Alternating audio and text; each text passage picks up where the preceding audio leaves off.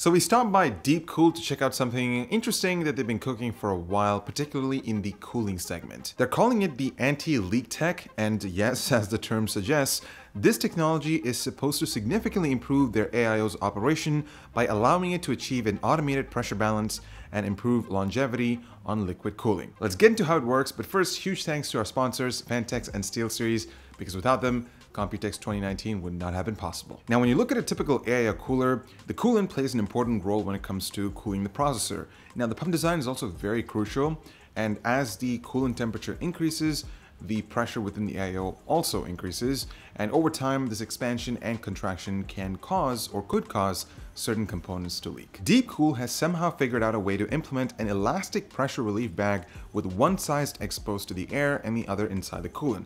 So when the internal pressure increases, the air inside the bag gets pushed out, creating more area within the IO, and this decreases pressure. Think of it like a lung exhaling air. The capsule itself is made out of a specialized rubber material uh, that's also heat and corrosion resistant.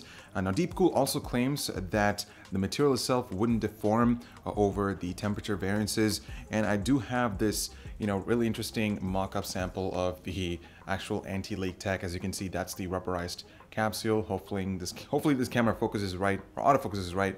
And then you've also got the release point uh, right over there. So, uh, you know, even though this isn't a working sample, I think it's pretty cool tech. Now, with the implementation of this new anti-leak tech, does it automatically result in better CPU temperatures? Not necessarily because Deepcool is really gearing for or targeting towards the AIO's longevity over, uh, you know, cooling performance. And while they are considering uh, achieving both of those, uh, you know, it's really interesting to see they're taking longevity as one of their highlights uh, for their new AIO coolers.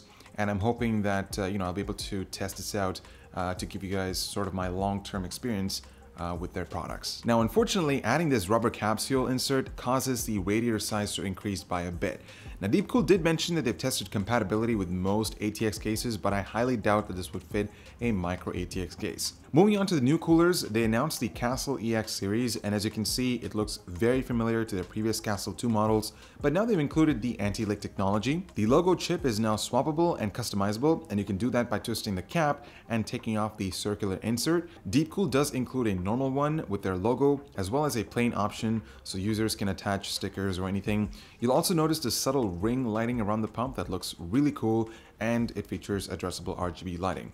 The pump design now features a dual chamber system that allows for a better flow uh, and they've increased the size of the skived fins behind the copper cold plate by 25%. The included fans have also been revised, so first and foremost, they're not RGB. Thank you Deepcool, because personally I didn't like the ones on the original Castle cooler. The blades on the new fan are more efficient in exhausting hot air, plus they built these subtle vents around the corners that improve acoustic performance. There'll be two models of the Castle EX series, uh, so you get the 240mm and the 360mm option, and pricing is $120 and $160 respectively, and you can pick up these models uh, right now. The Captain series of coolers are receiving a slight upgrade as well, so instead of the glass pipe design going into the pump, they replaced it with a metal one, uh, which they claim should dissipate heat a bit better. It also comes with the anti-leak technology, and you get both 240 and 360mm options.